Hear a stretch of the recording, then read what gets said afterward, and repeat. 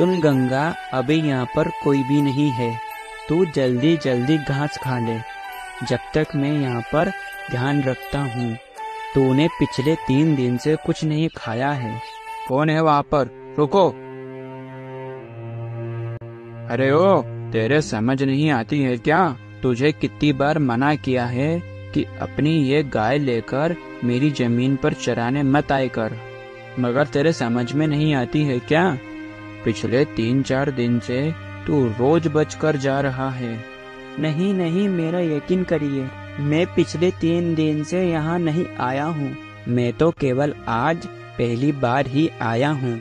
मेरा यकीन करिए, आज केवल ये गंगा के बदौलत ही हम दो समय का खाना खा पा रहे हैं। अगर ये घास नहीं खाएगी तो दूध कैसे देगी?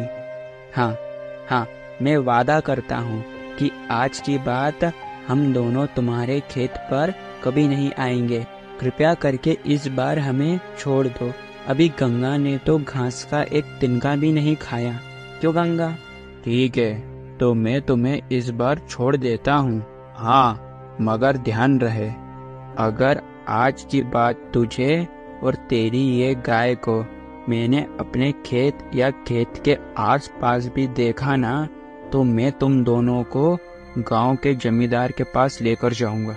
चलो भागो यहाँ से। चलो। अभी तक वो गंगा को लेकर नहीं लौटे। वो कोई संकट में तो नहीं है। मेरा तो ये सोच कर ही मन उछाले खा रहा है। पता नहीं वो दोनों कब आएँगे। हे भगवान रक्षा करना। पता नहीं गंगा आज तेरी किस्मत में क्या लिखा है। आज से पूरे तीन दिन हो गए हैं। तूने कुछ नहीं खाया है।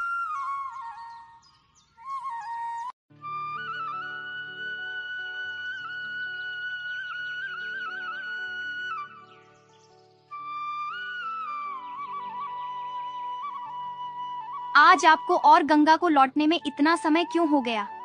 और आज तो गंगा को अच्छे से चरा कर लाए हो ना? भाग्यवान आज भी गंगा को घास का एक तिनका भी नसीब नहीं हुआ। मगर क्यों? गौरी आज खेत के मालिक ने मुझे और गंगा को खेत में पकड़ लिया था।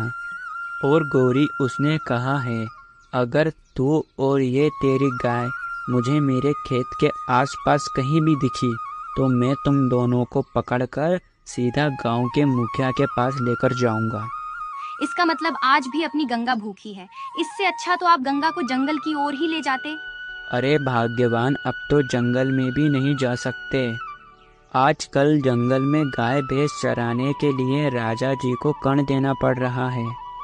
हमारे पास तो खाने जितने भी पैसे नहीं है तो फिर हम ऐसे में कर्ण कहाँ से देंगे? मगर भाग्यवान, ऐसे में हम अपना और गंगा का गुजारा कैसे करेंगे? चलो, अपना तो छोड़ो, मगर गंगा का क्या होगा? मगर हम गंगा को ऐसे भूखे पेट भी तो बिल्कुल नहीं रख सकते हैं। इससे अच्छा है आप आज बाज़ार जाकर गंगा को बेच आओ। गौरी ये तुम क्या कह रही हो? गंगा को बेच आओ? गंगा को पिताजी ने बड़े प्यार से बड़ा किया है और हम इसे कैसे दूर कर सकते हैं? नहीं नहीं भाग्यवान नहीं हम गंगा को हमसे दूर नहीं करेंगे हम गंगा को नहीं बेचेंगे। मेरा भी गंगा को हमसे दूर करने का मन नहीं है। पर हम क्या कर सकते हैं? गंगा ने पिछले चार दिनों से कुछ नहीं खाया है। अगर इसे कुछ हो गया तो हमारे पास इतने भी पैसे नहीं हैं कि गंगा का हम इलाज करवा सके। तो गंगा को कुछ हो, उससे पहले तुम इसे बाज़ार जाकर किसी अच्छे से इंसान को बेच आओ, जो इसकी अच्छे से सेवा करे। चल गंगा, तेरे नसीब में हमसे दूर होना ही लिखा होगा। चल।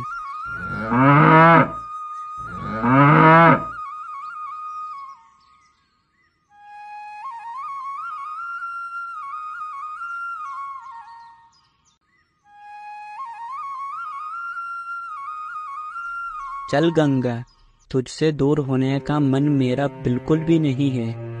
मगर मैं क्या कर सकता हूँ?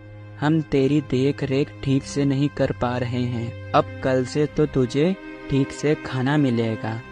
बस यही मेरे लिए खुशी की बात है। चल गंगा चल। गंगा जल्दी चल, वरना बाज़ार उठ जाएगा। क्या बात है बेटा? ये गाय को तुम ज़बरदस्ती कहाँ लेकर जा रहे हो? बस बाबा, यही पास के बाज़ार में जा रहा हूँ। अरे बेटा, तुम इस गाय को बाज़ार में क्यों लेकर जा रहे हो? बाबा वो इसे मैं बाज़ार में बेचने जा रहा हूँ। मगर तुम इस गाय को क्यों बेच रहे हो? ये तो खूब बढ़िया गाय दिखती है। अब क्या बताऊँ बाबा आपको? अभी हमारे हालात कुछ ठीक नहीं है। और अब तो जंगल पर भी राजा ने अपना कण लगा दिया है, जिस कारण गंगा का खाना बंद हो गया है। बस इसीलिए गंगा को मैं बाज़ार में बेच रहा हूँ। अरे बेटा, तुम एक काम करो, तुम अपनी गंगा को मुझे दे दो। मैं गंगा का खूब बढ़िया ख्याल रखूँगा, मैं गंगा को भरपेट खिलाऊँगा। मगर बेटा, इसे खरीदने लायक पैसे तो मेरे पास नहीं है। नहीं नहीं बाबा, मुझे आपसे पैसे नहीं चाहिए। केवल आप तो मेरी गंगा का बढ़िया से ध्यान रखना और इसे भर पेट खाने को देना। मगर बेटा, मैं तुम्हें बिगर कुछ दिए तो ये गंगा को नहीं ले सकता। इसके बदले में तुम्हें यह गमला देता हूँ बेटा। मगर बाबा, मैं इस गमले का क्या करूँगा? कुछ नहीं बेटा, कुछ नहीं। केवल तुम तो इसे कहीं पर भी लगा देना। ये पौधा बड़े होकर तुम्हें खूब मीठे मीठे फल देगा, बेटा। ठीक है, बाबा। आप तो केवल बस मेरी गंगा का ठीक से ख्याल रखना। गंगा, आज से तो इन बाबा के साथ रहेगी। इन्हें ज़्यादा परेशान मत करना, और ये तुझे जो भी दे खाने को, वो खा लेना।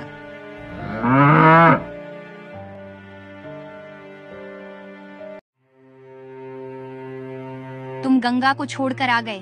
देखो जी गंगा के जाने के बाद अपना घर आँगन कैसा सुना सुना हो गया।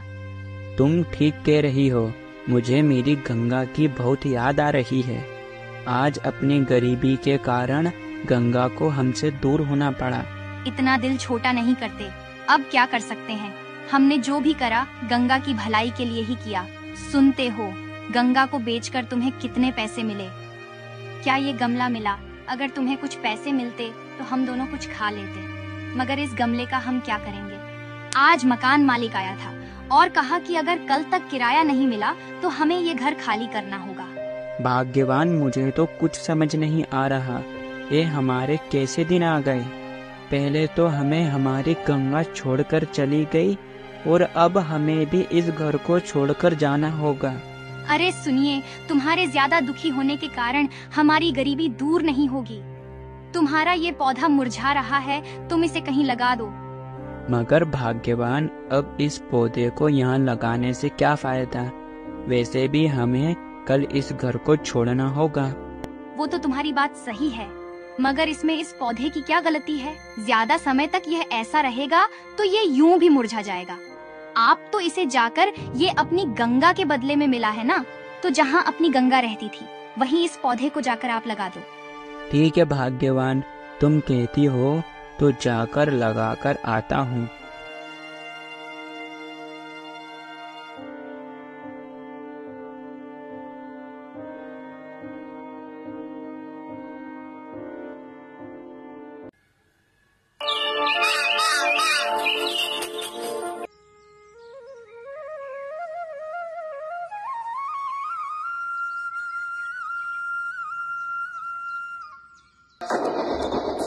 अरे अरे अरे ये क्या है? मैं क्या देख रहा हूँ?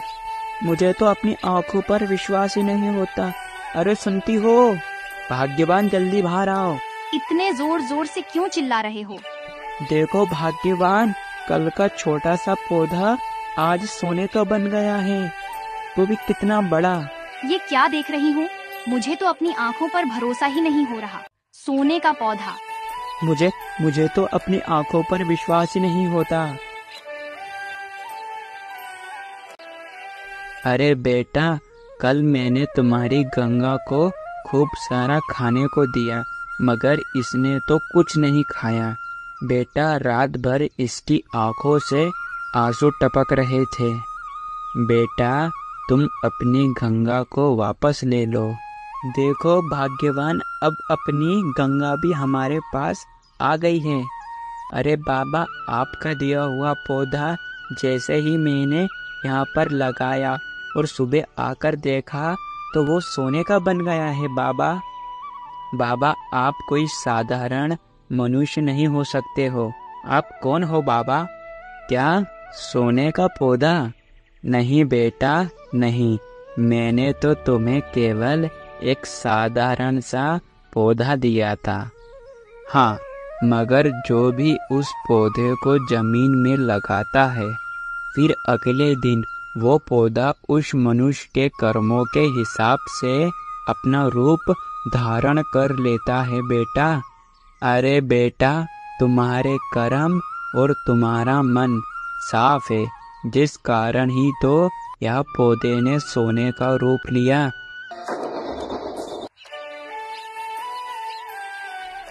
देखा भाग्यवान, मैंने तुमसे कहा था ना कि ऊपर वाले ने ही बूढ़े बाबा का रूप लिया और उन्होंने मुझे यह सोने का पौधा दान में दिया।